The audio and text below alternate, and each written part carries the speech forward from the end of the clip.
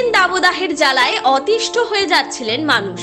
শেষমেশ শনিবার সন্ধ্যায় নামলো স্বস্তির ঝড় বৃষ্টি। কিন্তু অস্বস্তি বাড়ল চাষিদের। গতকালের ঝড় বৃষ্টিতে ধান চাষে ব্যাপক ক্ষতির আশঙ্কা। আরামবাগ মহকুমার বিভিন্ন এলাকাতে ধান চাষে ব্যাপক ক্ষতি হয়েছে। পাকা ধানে মই দিল শনিবার সন্ধ্যার কাল বৈশাখী গোঘাটের ধান চাষিরা বলছেন, গতকাল সন্ধ্যা থেকে যেভাবে ঝড় বৃষ্টি হয়েছে, তাতে ধান চাষে ব্যাপক ক্ষতির আশঙ্কা রয়েছে। মাঠ থেকে ধান একদমই তোলা যাবে না। মাঠের ধান মাঠে থেকে যাবে। গাছ কাটতে গেলে ধান সব ঝরে পড়বে। কিছু কাটা ধানে জল দাঁড়িয়ে রয়েছে। কীভাবে এই ধান উদ্ধার করা যাবে সেই নিয়ে চিন্তা রয়েছে। এক বিঘা জমির ধান চাষ করতে প্রায় কুড়ি হাজার টাকা খরচ হয়। কি করে খরচ তোলা যাবে ভেবে উঠতে পারছেন না তারা। ধান চাষ করে সংসার চলে। এই পরিস্থিতি হলে কি করে সংসার চলবে তাদের?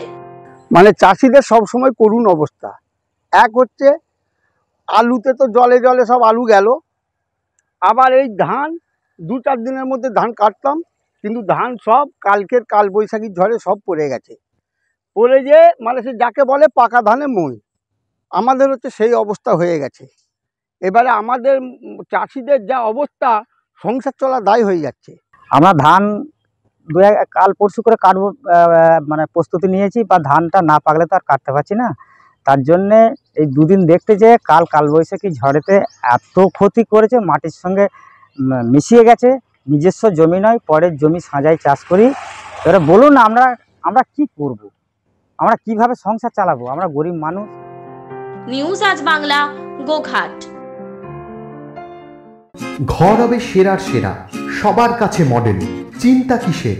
সঙ্গে আছে KB marble marble granite tile sanitary fittings এর একমাত্র হোলসেল ও রিটেল শপ কেবি মার্বেল যোগাযোগ nine four three four zero five nine seven five three. অথবা eight nine one eight one two six zero four four আমাদের ঠিকানা বসন্তপুর আমতলা মোড় আরামবাগ হুগলি। সাজাবো আমি স্বপ্নের বাড়ি কেবি মার্বেলসে দেবো বাড়ি।